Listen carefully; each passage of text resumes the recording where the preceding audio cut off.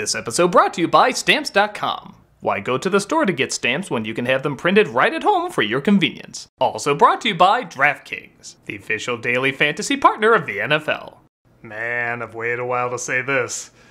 Our upcoming cons are too many games at the Greater Philadelphia Expo Center, October 8th to 10th. Wizard World Chicago, Donald E. Stevens Convention Center, October 15th to the 17th. Look for us in the Artist Alley. We're gonna do something a little different. We're gonna do terrible caricatures of everybody, so drop on by. Grand Rapids Comic Con, the Devos Place, Grand Rapids, November 12th to the 14th. And finally, C2E2, McCormick Place in Chicago, December 10th to the 12th. We're gonna have a booth at all of them, so drop on by, say hello. We're so excited to be back, man. Can't wait to see you.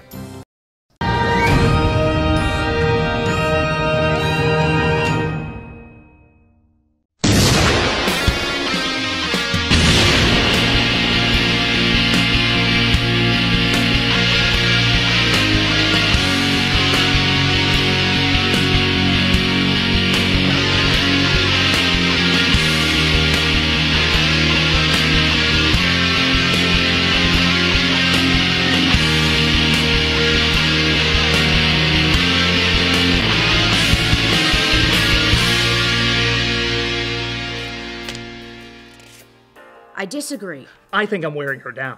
Correct. That's what you are, Ipkiss. A big. I did you back in the laboratory to get your bolts tightened? I should have said that. Correct. Critic, what's the point of this? The point is to win, and you're doing terrible. I have no interest in showing off how well I know the mask. And that's why you're losing. Continue, Tamara. Our. Love is like a red, red rose, and I am a little thorny. Correct. Shoot the door! Shoot the door! Shoot the window! I don't care! Correct! Please, I want to eat. No food for either of you until we go through every single line. Don't worry, I ate my words when I said this game sounds like fun. Screw it. I'm going to make myself a sandwich. Uh, I wouldn't do that, Malcolm. I really wouldn't. And what the hell are you gonna do? Malcolm, don't tempt him! You're gonna regret it, buddy. I'm making myself a sandwich. This is your last chance. Don't be a fool, Malcolm! I don't think you can do a thing. Well, then go ahead. Go and make yourself a sandwich.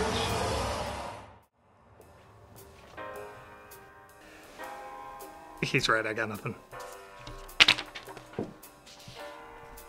Okay, I did this to show I really was obsessed with the mask growing up.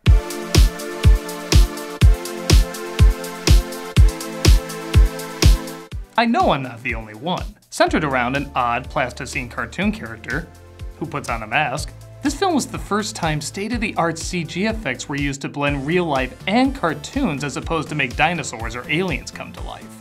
When the trailer came out, people, particularly kids, were so excited that someone finally got the idea to use this technology in a zany way. And of course, this wacky take on technology is used everywhere today, even in commercials. It also helped that they got the rapidly rising star of Jim Carrey and the first appearance of Cameron Diaz as well. Years later, people still look at this film as a fun, wild, nostalgic throwback. before the dark times. But I wanted to show that even with my obsessive love of this movie, even back then, I still knew it wasn't great. Now, don't worry, I'm not gonna pan this film at all. If anything, I'm curious why so much of it still works today, when honestly, a lot of it shouldn't. There's a ton of awkward moments, weird lines, and standard 90s cliches that were pretty formulaic even back then. Yet something about it is still charming, imaginative, and weirdly one of a kind. I guess I wanted to make it clear that even though I adore this movie, I still wanted to look at it objectively, for both its pros and cons.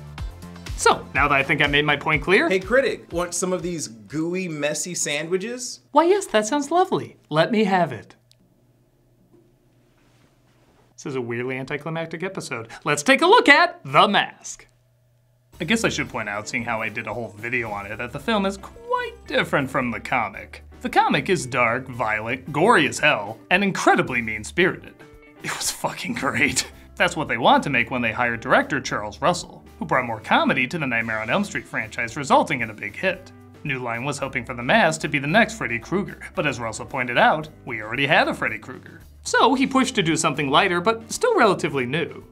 In fact, for better or worse, this is one of the perfect examples of transitioning from the aggressive R rated 80s to the lighthearted PG 13 centered 90s. I'd be lying if I said I didn't want to see the comic on the big screen now with big budgets trying to be more daring, but in the 90s, I can see why they did something more zany and relaxed. With that said, we open with credits rolling over Edge City, which which I'm pretty sure is the city from Babe 2, where a scuba diver stumbles across Jumanji but is accidentally taken out, unlocking an ancient mask. Not knowing this yet is Stanley Ipkiss, played of course by Jim Carrey, who got concert tickets for his would be girlfriend, but she complains she wanted to take her friend with her instead of him. Why don't you just go with your friend? I couldn't do that. No, come on. Boy, do I smell chicken, because cock, cock, cock, cock, cock, cock, cock, cock. That was the most sickening display I've ever seen. I disagree. I think I'm wearing her down. Jim Carrey really is the perfect actor to play this role, not because of his over the top flexibility as the mask, though that is certainly important, but because of his likability as Stanley Ipkiss. Most actors, I think, would play this role too boring to contrast the other personality. Carrey himself said he didn't want people fidgeting in their seats saying, just get to the mask already. And I still stand by, this is my favorite performance of his, as when he does other roles, it still feels like a performance. A good performance, but still performance. This just feels like how Jim Carrey probably was. A nice but awkward people pleaser who's very expressive with his face. I also like that he doesn't hold back too much. He's still a little over the top, but in a way you feel like he would be in real life, especially given his obsession with cartoons. I firmly stand by if Ipkiss didn't work, the movie wouldn't work. This is fortunate as he and his comic relief Charlie almost impressively have no chemistry together. Hold the phone. Killer at 3 o'clock. I never noticed it before, but these supposed best friends come off more like, well, actors who just met for the first time on set. Tonight, I'm gonna take you on a love safari, deep into the darkest heart of the urban jungle. Tell me more, Bwana. They're not awful, they're not even so bad they're funny, they just leave no impression as a comic duo. That aged great. Thankfully, the chemistry isn't focused on them as much as Carrey and then former newcomer, Cameron Diaz. She plays Tina, a charming singer pretending to open an account when really she's a friend for a mob boss. What does Nico have to say about all this? Things change. First we take the bank, then we take Nico, and then my friend's school is out. Sorry, I accidentally put on heat. Peter Green plays a gangster named Dorian, and I'm pretty sure nobody told him this was supposed to be a comedy, because he plays this role like he's still in the usual suspects. Did it look like I had much of a choice? Maybe you did. Maybe you didn't. Who knows, right? While a part of me does wish he was funnier, it does help offset the goofier moments and give a few more surprises about what's around every corner. Is a scene with a gun gonna be funny or suspenseful? It helps mix things up. Speaking of which, Stanley's repair shop lies about his car being ready, so they give him Fosse Studebaker to go to Dorian's club with his friends. He gets separated from them though and doesn't mix well with security, causing Dorian to say lose him twice. No, but my friends are on the inside. Lose them. Hey, come on now, guys. He's been talking like that ever since he did that job with Johnny two times. I'm gonna go get the papers, get the papers. Things get worse when a car ruins his suit. Mr. Ipkiss. Did you get my splash? I slipped the driver a 20 to do that.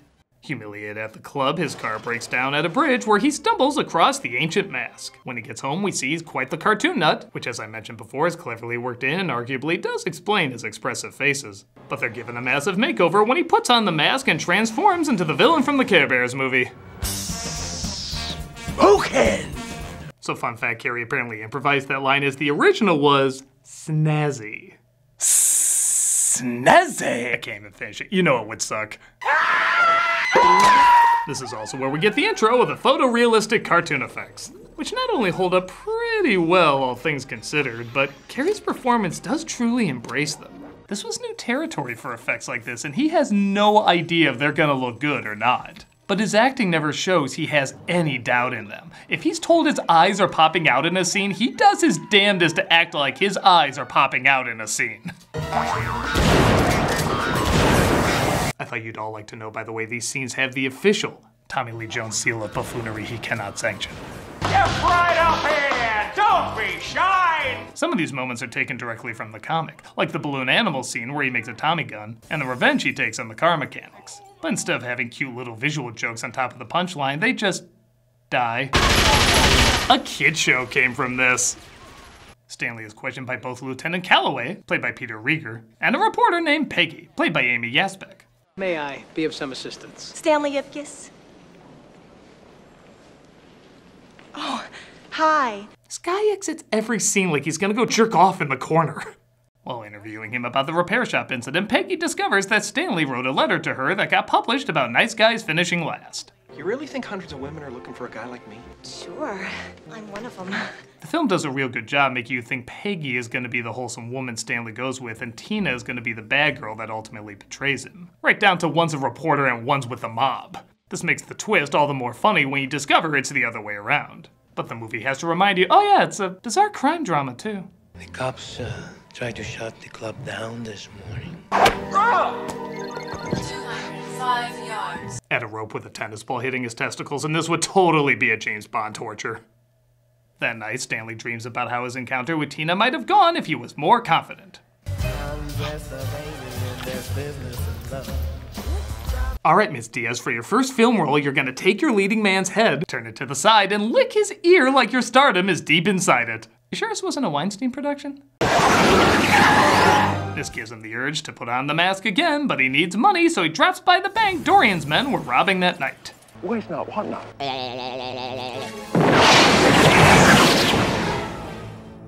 They have a look like, oh, it's that kind of movie. I thought this was a sequel to Donnie Brasco. He shows up to the club to hear Tina sing, gives one of the few effects that doesn't hold up that great, and dances to the song you're almost all star sick of, but not quite. This is as good a time as any to say the soundtrack is fucking great. People always single out this and Cuban Pete, but honestly, every song is really fantastic in this. The director said he wanted the city to really come to life at night, as the mask could only come to life at night. So he wanted it to be a very nightclub-centered world, and the music definitely helps that. Combining a strange mix of lounge, swing, and R&B, they surprisingly really go together and help already entertaining scenes explode with even more energy. I mean, it, every song in this is hummable as hell.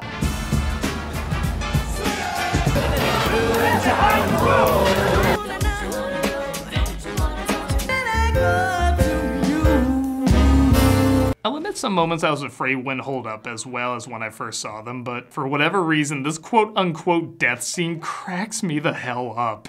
Tell Tiny Tim I won't be coming home this Christmas.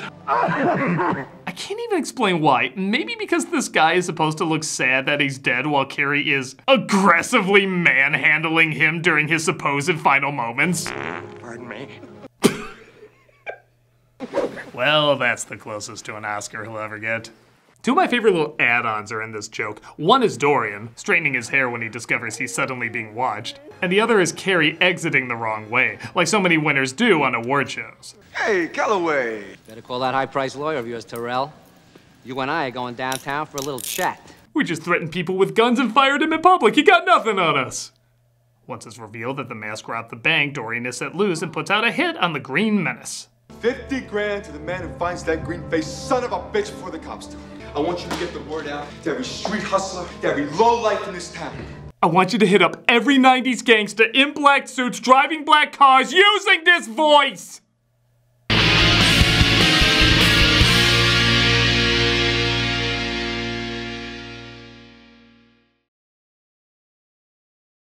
Douglas! What's up? This is the maker! You mean God? No, I'm not sure if our sponsors are cool using that term. Alright. You must use stamps.com. Cool. If you got a small business, you know that there's mm-hmm. nothing more valuable Yeah, than your time, so Oh, stop yeah. wasting it on trips to the post Oh, office. amazing. Stamps.com makes Oh, it wow. easy to mail and Wow, ship wow. right from your computer. Save time and money with stamps.com. Send letters and packages for awesome. less with oh, discounted amazing. rates from. USPS, UPS, and more. Tell me more, maker. Since 1998, Stamps.com has been an indispensable tool for nearly 1 million businesses. Well, Stamps.com brings the services of the U.S. Postal Service something. and UPS shipping right to your computer. Wow, Whether you're wow, in office sending invoices, a side hustle, Etsy shop, or full-blown warehouse shipping out orders, Stamps.com can make your life easier. Hey, am I right? All you need is a computer and standard printer, no special supplies or equipment? Exactly well done. Within minutes, you're up and running, printing official postage for any letter, any package, anywhere you want to send. And you'll get exclusive discounts on postage and shipping from USPS and UPS? Righto! Once your mail is ready, just schedule a pickup or drop it off. No traffic, no lines! No lines? No lines!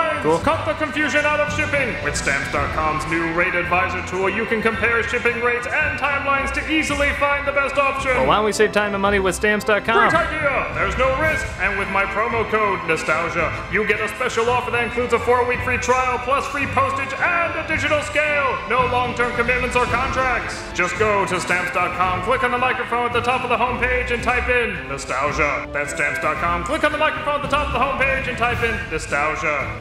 Stamps.com. Never go to the post office again. Well, I like to got uh, non-denominational maker, and I definitely will. Right after I'm done looking at DraftKings. DraftKings, what's that? You don't know? It's been a great start to the NFL season, and it's only getting better at DraftKings, the official daily fantasy partner of the NFL. Tell me more. Okay, DraftKings is putting new customers in the center of the action with a free shot at millions of dollars in total prizes. Why, can I get in on the action now? Yes, non-denominational maker who's supposed to know everything. It's simple. Just pick your lineup, stay under the salary cap, and see how your team stacks up against the competition. Feel the NFL action like never before with a free shot at millions of dollars in total prizes. Wait, I do remember making this. Yeah, how did you forget that? I also invented bad memory. But DraftKings is safe, secure, and reliable. And the best part is you can deposit and withdraw your cash whenever you want. Well, I think the people watching should download the DraftKings app now and use the code CRITIC. This week, new customers can get a free shot at millions of dollars in total prizes. Just enter code CRITIC to get a free shot at millions in total prizes with your first deposit.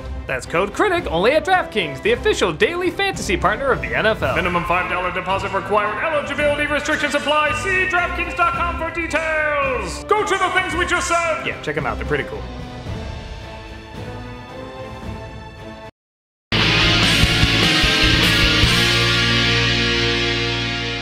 Tina visits Stanley to see if he knows anything about the mask, seeing how it was his bank that he robbed. Anyone find out who he is? Why are you interested? Thanks for everything, Stanley. You'd like to see him again, wouldn't you? Anyone else get a serial killer vibe from that look? You'd like to see him again, wouldn't you? He'd like to see you too. All of you. He puts the lotion on his skin! He takes his mask to a professor, played by Ben Stein, who connects it back to the ancient trickster, Loki. Possibly a representation of one of the Norse night gods. Maybe Loki. Who's Loki? Loki is bank. Stein's underacting perfectly offsets Carrey's overacting. And I legit love that nobody figures out because Loki is a night god it would only work at night. So this reaction is always a surprise and gets a big laugh. This is why I don't believe in evolution. You have the pickle relish? Doyle, get in the car. But I ordered onion rings. Doyle! I should point out this is the very sudden beginning of Calloway and his assistant Doyle doing the smart cop, dumb cop routine. At first, Doyle is just a normal guy. He talks with Calloway like anyone else would. Well, we got some fingerprints on some of the currency, but nothing matches Tyrell's men. Looks like this guy beat him to the punch. But halfway through, they spontaneously make him a dumbass always getting on Calloway's nerves. It's completely out of nowhere. Doyle! Doyle! Fred, shut up and help me down. All right. Start dancing, I'll blow your brains out. Wow, you're a real hero. Doyle! It'd be like if Timon and Pumbaa halfway through Lion King changed gears and became a no-nonsense cop duo. It'd be out of left field, but kind of funny too. Stanley. Stanley meets Tina at Landfill Park. The city is so close to having a strong identity. But he changes into the mask, much to her delight, confusion, fear. It's a little hard to get a read on her in these scenes. Ipkiss! Police! The cops try to arrest him, but he outsmarts them only to be cornered by a SWAT team. This leads to, let's face it, what you've been humming since you saw the thumbnail for this video. They call me Cuban Pete. I'm the king of a rumba beat. Cuban Pete is one of the catchiest earworms in a soundtrack that already has a lot of earworms. I have to admit though, when I think of pure silly joy in a movie, this sequence always pops in my head. It is the most upbeat, surreal, out of nowhere musical number at the time since Day-O from Beetlejuice. I feel like if this was done today, they'd do some sort of modern pop song. I really give credit that they stuck with something more traditionally zany. This cop in particular does a really amazing job. Really think about what she has to do. She has to be in cop mode, start singing while in cop mode, get across the singing is against her will, indicate her body is going through the same thing, and then be totally possessed by the mask's powers. All within the span of just five seconds. As well as while a Surf Ninja poster is staring her in the face. I don't know, even if I saw this all going on, I'd still be distracted. What the hell is surf ninjas? That we shall try. Just you and I. Oh, and she can dance. For not even having a minute of screen time, that cop leaves quite an impression. Stanley finds a corner and takes the mask off. I never understood why. But Peggy is there to help him escape. My life is wrecked. Wrecked. Stanley opens up to Peggy, who at first seems sympathetic, but as mentioned, she was working for Dorian. What are you doing? You really are a great guy. I just can't lose my condo. If it makes you feel any better, Stanley, I don't think sex with her would have worked out anyway. Is this him? Don't mess with me, I got my sideways gunman with me, bro!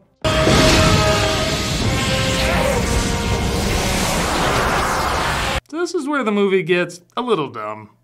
If you're like me, you were excited to see what the mask would do with a criminal like Dorian. Would it make him wild and zany, or would it turn him into some sort of out there monster, like in the later comics? Well, it pushes him forward a few feet, and just makes him bigger and meaner. What a rush! You okay? Better than ever, you idiots.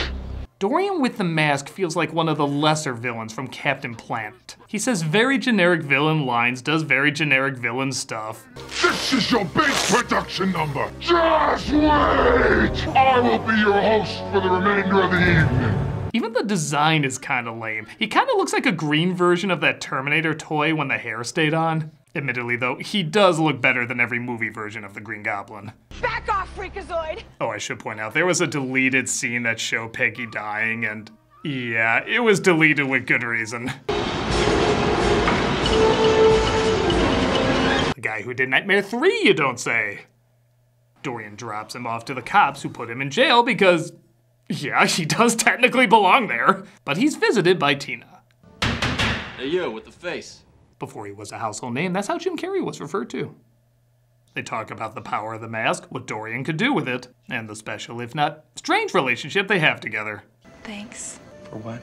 for being the only guy who treated me like a person and not some sort of party favor. Yes, he really loved you for your personality. Okay, to her credit, I think she was talking about him when he wasn't wearing the mask. But that doesn't mean she has to follow all the way through with a kiss. I've got to disappear for a while now, Stanley. Baby, there you are. I needed someone to tell me how stupid my suit was. You playing a little trip without me, baby? No. No. Jesus, it's the mask! Peter Green is like, What? I read the comic. Oh, we forgot to have that talk. Um, yes, that's the kind of movie we're making. But it's not. I'm not telling him that, he'll kill me. Stanley uses his dog Milo to get the keys from the cops, and I gotta say, as animal actors go, Milo is one of the best in cinematic history. This dog has so much personality and is so ridiculously well trained. Put the keys down and get the keys. Go on. Over there. Over there. If there was like an animal Oscars, he would totally get an award that year. Ah! Hold it! Stanley gets out, taking Calloway with him. It may be one of the best Doyle reactions in the movie. Come on! Well, that invites no follow ups, as Dorian gets revenge on his boss and plans to blow up the nightclub. Blow it! I was talking to her, but that works too. Crap. Stanley is captured, but Tina has a plan of her own. There's no time for last requests. But all I wanted was a kiss. A kiss. I really didn't need to see masked Dorian's thirst face. Nobody ever kissed me like Dorian, Tyrell. You know, I saw this in every Saturday morning show ever made, but I doubt it'll end the same way those did. Oh, crap! Milo gets the mask and puts it on. This dog is actually such a good actor, no CG was used in the filming of these scenes. Stanley gets the mask back on, resulting in a weird jump cut that always drove me a little crazy. Oh Christ, I have seen this film too much. And he uses his power to get rid of the bomb and Dorian as well.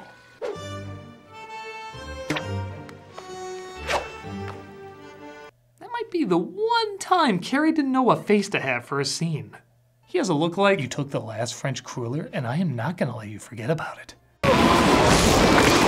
He turns back into himself and seems to be off the hook as everyone except Calloway thinks Dorian was the mask all along. I want to see you in my office first thing tomorrow. Yes, Your Honor. Boy, that doesn't sound good at all. Oh, it doesn't sound good. What would sound good to you? Breakfast. Shut up!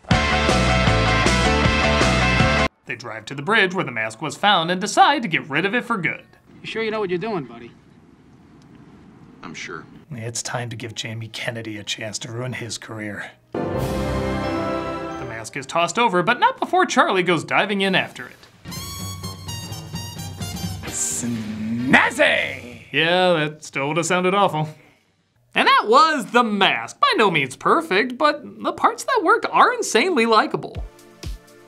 A lot of it is around Jim Carrey, both as The Mask, but especially Stanley Ipkiss. He gives an energized yet unique spin on the lovable loser that I feel actors have borrowed from since this film came out.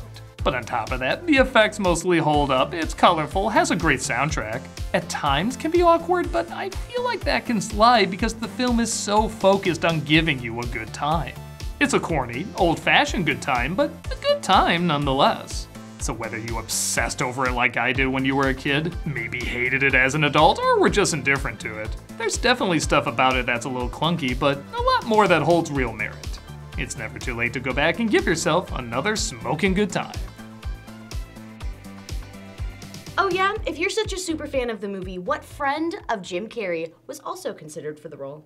What does it matter? Clearly no one would be better for the part. Oh? Not even Nicolas Cage?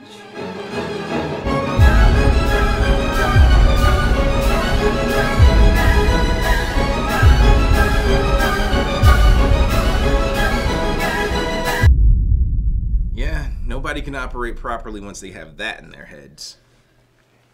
Hey, if we brought it up, how come we're not traumatized? Issei Uye Ederle.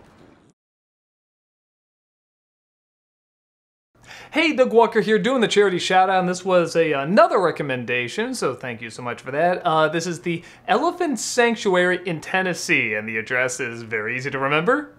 Elephants.com, very, very simple. Uh, but let me tell you more about it. Uh, this is the nation's largest nat- uh, natural habitat refuge developed specifically for endangered African and Asian elephants. The sanctuary operates on 2,700 acres and exists to provide captive elephant, uh, captive elephants. I'm sorry, I can talk today with individualized care, uh, the companionship of a herd and the opportunity to live out their lives in a safe haven dedicated to their well being. Their goal is to raise public awareness of the complex needs of elephants in captivity and the crisis facing elephants in the wild. With a four star rating on Charity Navigator, this is a charity that really cares about animals, and you can play a really big part in helping them out. Uh, like I say, it's you have no excuse, man. That is the easiest address to remember, so definitely check them out and see if you can uh, uh, donate or spread the word, any of that would be uh, absolutely wonderful. Uh, so thank you for the recommendation. I'll just see you next time. Take care.